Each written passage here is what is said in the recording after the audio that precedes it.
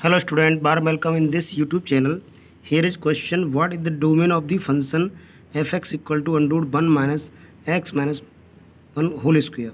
So student, for real values, square root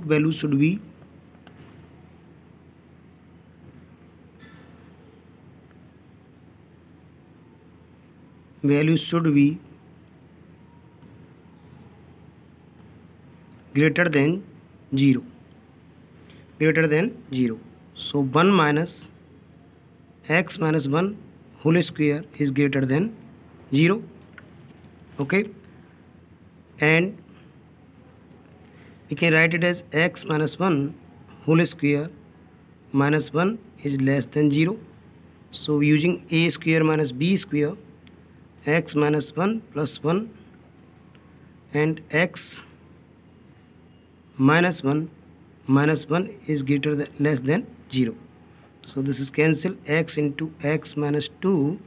is less than 0 it means x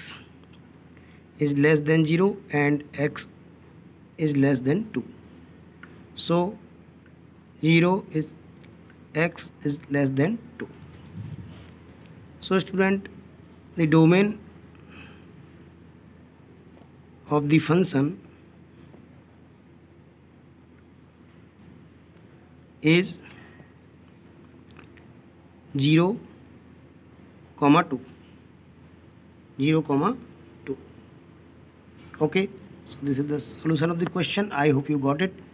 please like the video subscribe the channel and make comments thanks for